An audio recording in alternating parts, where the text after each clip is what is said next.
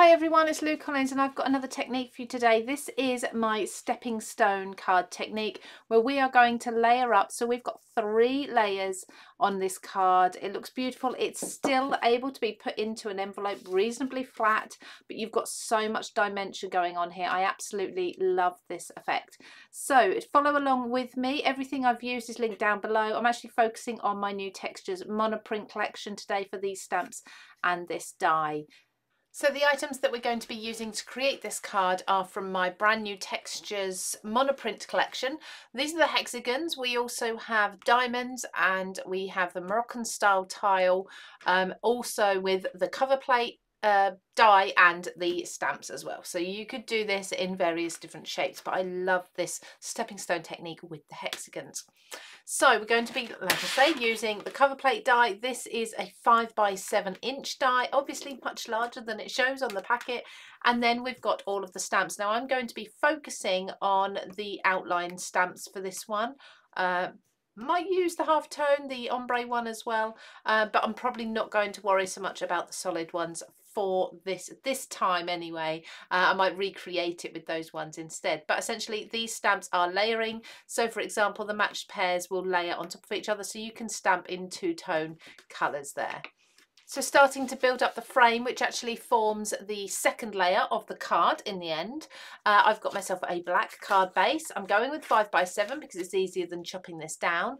I have cut the cover plate die from black cardstock and then I've also cut it again from adhesive foam. So this is the Creative Craft Products adhesive foam. You get three sheets in there. It's adhesive back and front. Uh, this is um, A5 in size, so you get a little bit around the edge. You can save this and use it elsewhere. Now, when I cut this, I've used black because I'm using a black card base. There's also white available. But when I cut this, I try to take it out of the die and leave everything inside the uh, sheet, nothing falling out hopefully. And it's quite easy with foam to keep that in there. This makes it so much easier for adhering your black, your die cut here. So with everything still in place, I'm going to just gently peel off the um, backing or of the part that I want to stick down like so, nice and came away nice and easily. And then I'm going to place my die over the top. The beauty of this is that it is symmetrical, so it doesn't matter which way round I do it. I'm focusing on the two corners first, and that should lay over the top absolutely perfectly. Now I can pop this out, but what you might also want to do, um, or you definitely want to do to create the stepping stone look, is to save any of these hexagons that you pop out from the centres. So pop those away and just pop them to the side for now. So I'm going to place this onto my card base by peeling off the backing. Again, it comes away just as easily as the front did. And once again, just line up the bottom corners before you press anything down and the rest should fall into place nicely as long as you've cut your card.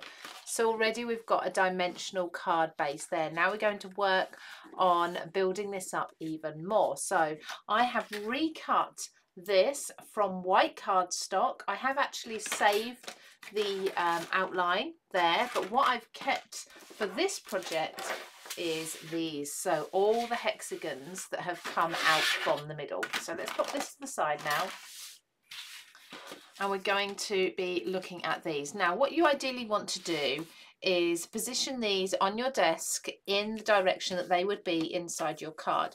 And the reason that they're not all just plain hexagons is this edge and this edge have the tiniest little nick out of the corner of the hexagon.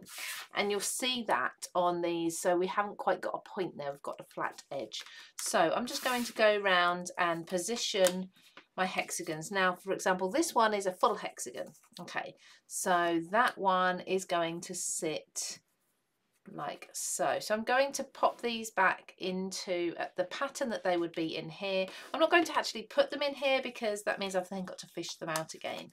So I'm just going to work my way through these. It won't take you long at all and you can actually do this when you're popping them out. Now I'm going to keep the smaller triangles from the very edge, but I'm not going to actually be stamping on them, I don't think, so I'm going to put them to the side.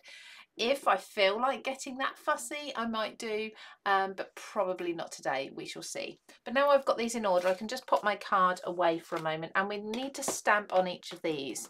So I've got my stamping platform and I've got my hexagon stamps. So I'm going to choose these and, and make sure that they are in random order. The patterns are in random order that I decide to do.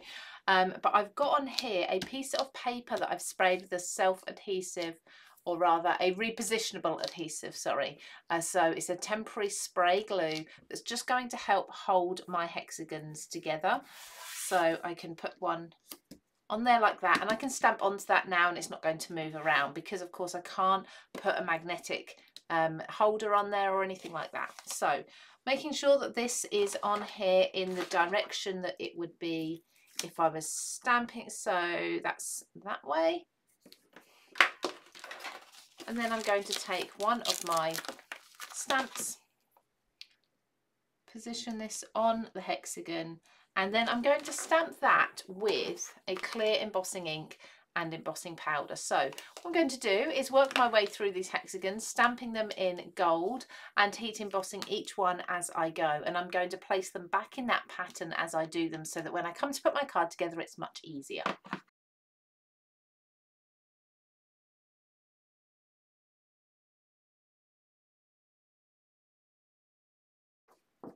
Now that everything has gold embossing on it and laid out in the order that I'm going to want it on my card, I want to add a pop of colour. I've chosen spun sugar for this. I'm going to see how it looks. I might actually opt for Kitsch Flamingo um, or even picked raspberry for a brighter pink, but we shall see how they look. So for some of these, I'm just going to pick out the flowers. So I'm using my stencil blending brush because I can just do a small area with this. So I'm just going to go in with the flowers there that doesn't look too bad. And then I'm go going to also need to use a piece of kitchen towel. Because I'm using an oxide the oxide does go over the top of the embossing. So I just need to wipe that away. So that's got a tiny bit of pink on there. Um, we'll see how that looks. Now let me do a larger piece. With this one I think I'm actually going to do an ombre effect. So quite dark down one side and just gently fade that out to nothing. So quite a bit more pink on this one. Again, just wipe away over the gold embossing so that shows up again. There, I think that's going to be enough. I think that is going to be subtle, but I think it's going to be pretty enough. So I'm going to do this on each of the different designs in a different way.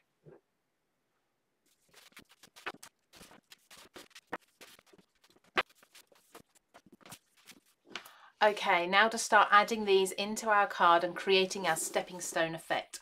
What we want to do is have some of them flat down on the card, on the card base, just with a wet glue. I'm going to choose these ones here because they are spaced out. So ideally, we really want to have uh, one in each row that's kind of flat to the ground, to the ground or to the card but we will put these ones in first and then we'll go from there. So it's just a case of popping them back in. Because they're die cut they should all fit perfectly. And if you've kept everything um, sort of in the pattern it should all fit in with that little edge there just out. So they're the stitched edge ones. Wiggle them back in. Perfect. Then I'm going to do I think I'll do another one that's flat to the ground or flat to the base of the card. Uh, I might do this this bottom corner here, I think. And the great thing is this can be completely random. So uh, it doesn't matter if you've got two next to each other that are flat or two next to each other that are raised up. Really doesn't matter. Then I need to choose what's probably easiest if is if I choose the ones that are raised right up. So I think I'm going to go with that top one. I'm going to go with this middle one and I think I might actually go for the same three. Okay, these three raised right up. So all the rest are going to be level with this. So I'm going to take um, this one. So these are the adhesive pieces that I said earlier. Keep them keep them, put them aside because we're going to put them back in to our card. And pressing that into the hexagon there and then lifting. Backing off and popping this back on. So this is now creating our second layer that is level with um, everything else so then take a full hexagon for that top butterfly and I'm going to work through all the ones that I want to be flat to the card. So there'll be three that are on the first layer on the base of the card, three that are raised up above the card as such, and all the rest are going to be level with the grid. So we're already starting to get our different layers here, but we need to add another layer. So what you're going to want to do is pop back inside the foam for these three pieces. I've got my three tiles here set aside.